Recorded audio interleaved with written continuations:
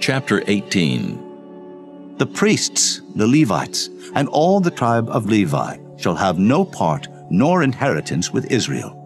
They shall eat the offerings of the Lord made by fire, and his inheritance. Therefore shall they have no inheritance among their brethren. The Lord is their inheritance, as he hath said unto them. And this shall be the priest's due from the people, from them that offer a sacrifice, whether it be ox or sheep. And they shall give unto the priest the shoulder, and the two cheeks, and the maw.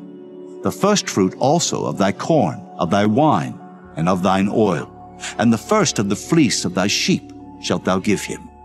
For the Lord thy God hath chosen him out of all thy tribes to stand to minister in the name of the Lord, him and his sons forever.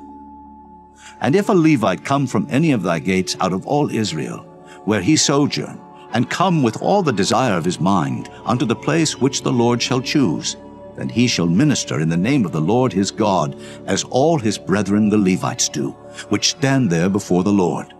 They shall have like portions to eat, beside that which cometh of the sale of his patrimony. When thou art come into the land which the Lord thy God giveth thee, Thou shalt not learn to do after the abominations of those nations.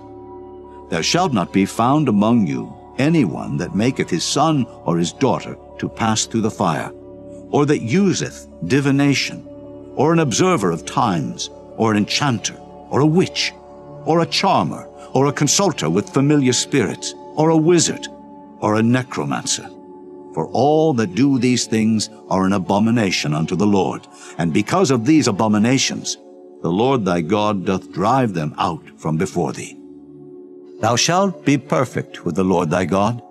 For these nations which thou shalt possess hearken unto observers of times and unto diviners.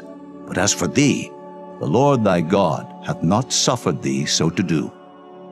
The Lord thy God will raise up unto thee a prophet from the midst of thee, of thy brethren, like unto me, unto him ye shall hearken, according to all that thou desirest of the Lord thy God in Horeb, in the day of the assembly, saying, Let me not hear again the voice of the Lord my God, neither let me see this great fire any more, that I die not.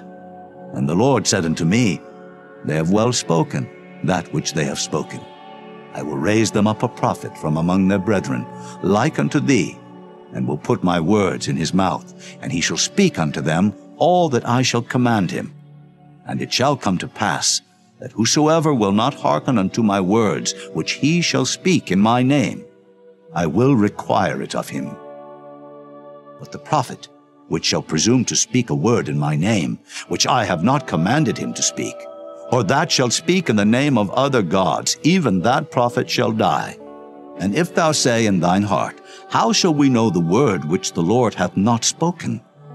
When a prophet speaketh in the name of the Lord, if the thing follow not, nor come to pass, that is the thing which the Lord hath not spoken. But the prophet hath spoken it presumptuously. Thou shalt not be afraid of him.